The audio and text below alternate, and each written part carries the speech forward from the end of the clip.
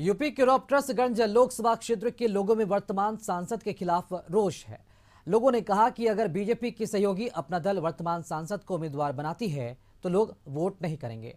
बता दें कि सोनभद्र की दो विधानसभा सीट पर उम्मीदवार की पुनरावृत्ति कर दोनों सीट बीजेपी ने जीत ली थी। कयास लगाए जा रहे हैं कि एनडीए गठबंधन में शामिल अपना दल उम्मीदवार की रिपीट कर सकती है। क्योंकि ऐसे सांसद से क्या फ़ायदा है? जो- कभी हमारे बीच में ना आए, जिसका कोई हमारी बात ना सुने और न हम उसको पहचाने, न वो हमको पहचाने। हाँ। तो ऐसे सांसद तो बस खाली बरसाती मेढक की तरह आएँगे, हाथ जोड़ेंगे, पैर छुएँगे। मैं तो चाहता हूँ एक बार राज आए तो मैं कहूँगा कि ऐसा पैर छूना है ना, जीतने के बाद छुएँगे, तब मैं जानूँगा कि आप जो है सच्चे जनसेवक हैं। इनका तो हमको कोई विकास का कार्य दिखा नहीं।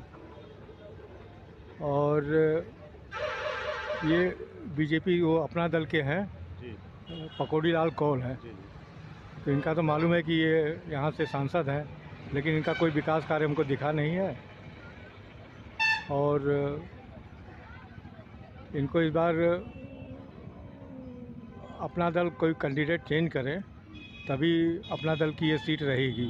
अन्यथा ये सीट बीजेपी के हाथ से और अपना दल के हाथ से निकल जाएगी। भाई संसद के लिए चुनेंगे तब ना जी यहाँ कुछ दिखाई देगा।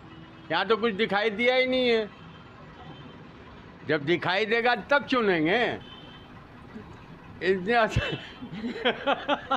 हम तो जो है मोदी जी और योगी के राज में जी जी रहे हैं। बाकी इनमें दम नहीं है।